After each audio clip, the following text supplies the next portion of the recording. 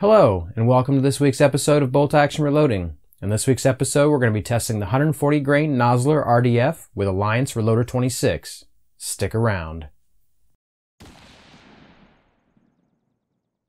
Welcome back to the channel. If this is your first time here and you'd like to see how I and the rest of the community here make our group smaller, start now by subscribing to the channel and hitting the bell icon. That way you get notified when I post next week's video and you won't miss anything.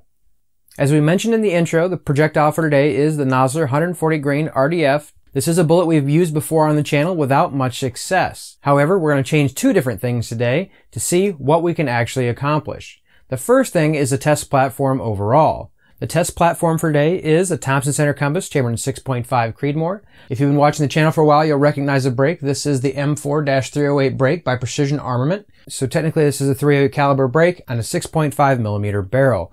This is a 22 inch barreled rifle. Most 6.5 Creedmoor barrels are chambered with 24 inch barrels.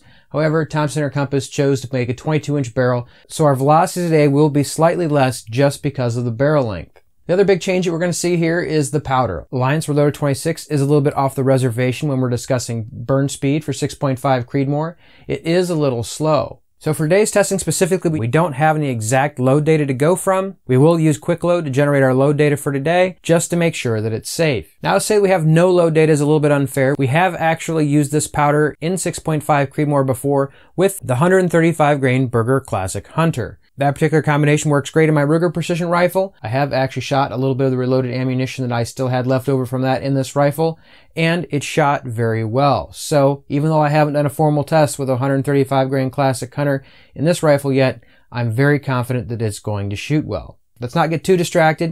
140 grain RDF is the test bullet for today. If you've been watching the channel for a while, you'll know my Ruger precision rifle just does not like these projectiles. I've tested multiple powders at multiple overall lengths and I really haven't had any luck. And frankly, I've just abandoned testing them any further because I just didn't think it was worth the time. However, new rifle, new platform. I know some people are getting reports that these 140 grains will shoot, so hopefully this rifle will be our shining example. Mostly for today's testing, however, we're just going to be looking for pressure, making sure we have safe loads. A little bit of leftover Hornady brass is what we're going to be using. This will be the second firing on it. This was actually some factory brass from some factory ammunition we've already shot in this barrel. So let's just get into our specifics for our load test today. This is the 140 grain RDF, part number 49824. This is the second firing on this brass, so the first since we fired it. It's been annealed, full length resize, trimmed to 1.910 inches, chamfered, and deburred. Our flash holes have been uniformed and we've primed our brass with standard Federal 210 primers. Our powder for today is Alliant Reloder 26. Quick load is where we're going to be getting our charge weights for today. We have actually worked up loads below this already in our Ruger Precision Rifle with a 147 grain projectile. Having a lower weight on our projectile as well as the quick load information, we should be fairly confident we're going to be in a safe pressure range for today. We're going to be starting at 47 grains and working all the way up to 49 grains in 2 tenth of a grain increments. Cartridge overall length will be an interesting discussion point when we get later on after we see the shooting for the video. The cartridge overall length we'll be loading today is 2.90 inches. Will easily fit in the magazine for our rifle. The cartridge base to ogive on that will be 2.263 inches. The important number that everyone's going to want to know is how far away away from the actual lands. And the answer is very, very close. Our loads today will actually only be about 5 thousandths off the lands, which is very frequently where most projectiles find accuracy. Though we're skewing the charge weights fairly significantly, we're going to see how well this groups with projectiles that are reasonably close to the rifling. With all those numbers plugged into quick load, let's find out what our pressures we should be seeing today. Starting at 47 grains, the actual pressure that quick load is predicting is 48,206 psi with that overall length of predicting a 99% fill rate, predicting we're going to burn at least 99.4% of our powder at an estimated velocity of 2713 feet per second. The barrel time that we're going to be looking at is 1.251 milliseconds. Keeping in mind the barrel node that we're actually going to be looking for is theoretically 1.2018 milliseconds for the 22 inch barrel length. At 49 grains, the maximum pressure we're supposed to achieve is 56,217 psi at an estimated velocity of 2844 feet per second. Our barrel time should drop to 1.166 milliseconds. This is a very full case at 103.2% fill rate. We should burn most everything. For some reason, it says 99.98% burn rate. So maybe two or three kernels of powder are going to fly out of that barrel unburnt. All that load data discussed, let's go out to the range and see how it performs.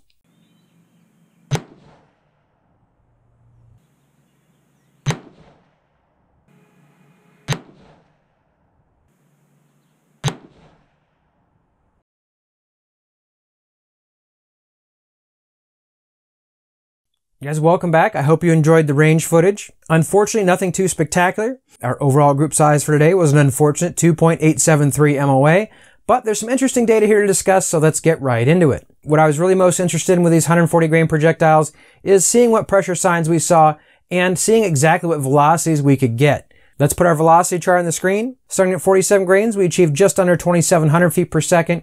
Climbing all the way up to our 49 grain max charge, 2851 was the max velocity that we achieved today.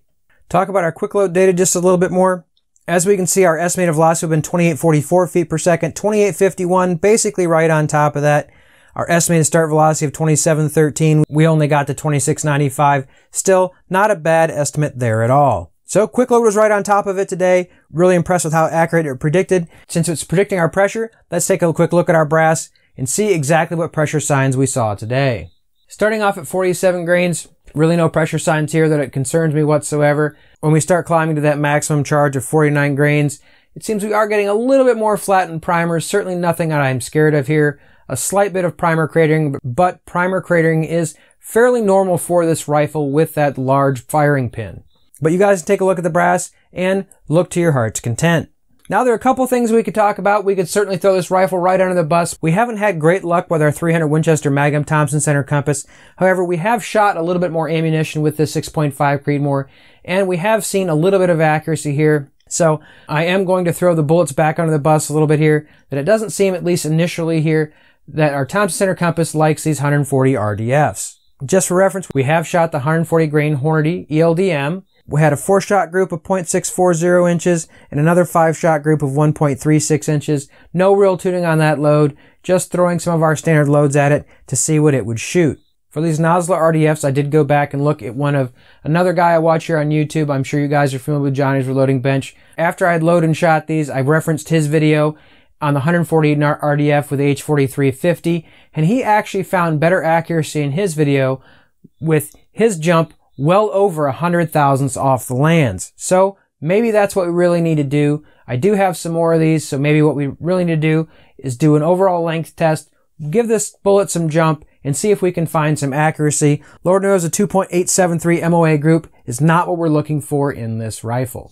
There's still some interesting data here. It looks like our barrel time for a 22 inch barrel is somewhere around 2785 feet per second which for a 22 inch barrel is still really smoking fast for a 140 grain projectile. QuickTime calculates that to be 1.203 millisecond barrel time. Keep in mind the goal would be 1.2018, so 1.202. So right along there, that would be at 48.1 grains and right at 103% fill rate. So still a compressed charge and probably as far as we would want to push the load relatively in this rifle. But for any of you out there that might think about trying Reloder 26 with 140 grain projectiles, that's roughly what we can expect. I know I haven't had any trouble hitting these velocities in my 24 inch Ruger precision rifle with Reloder 16. If you guys decide to try it in 6.5 Creedmoor, I guess that decision is up to you. Anyway, even if you're not reloading for 6.5 Creedmoor, I hope you enjoyed today's video. If you have any comments or questions, please post those in the comment section below. If you like the content, please consider subscribing to the channel, hitting the bell icon so you get notified when I post next week's video. I hope to see you back next week. And until then, stay safe in small groups.